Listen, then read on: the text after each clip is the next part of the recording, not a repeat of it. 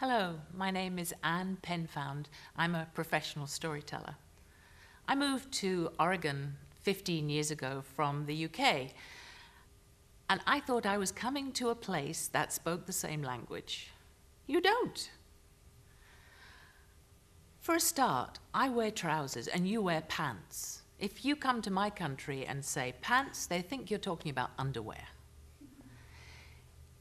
In this project, I think it's important that you use your language and the words that you, you know. For instance, I went to live in Scotland from England, and in Scotland they call this little finger a pinky. When I came out here, I was absolutely delighted. In this country, you call it a pinky too.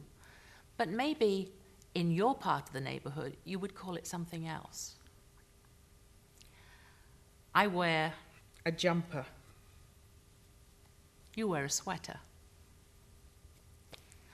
It's really quite an interesting thing to go and talk to somebody. And I remember I was speaking on the phone when I was very new here, and I can't remember what I said, but I suddenly occurred to me that my listener was getting a whole different picture about what I was talking about. And so I said to them, please uh, repeat back what I said. it was something completely different.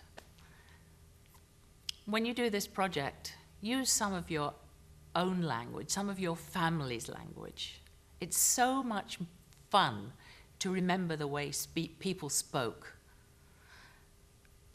When you're going to do it, use your voice because at home you get really excited when you're telling about a film or something like that. So include that when you begin to tell your stories. You can start with a little tiny, tiny piece.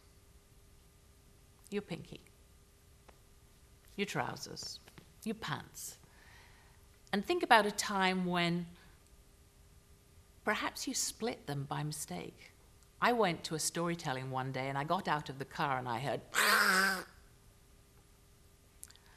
I had to make sure that I was sitting down every time, all the time that I was telling a story because I was very aware of what was um, going on down below. So use your voice, use inflection, speak loud and speak soft, be yourself. I think that will bring out a wonderful story that you're going to tell.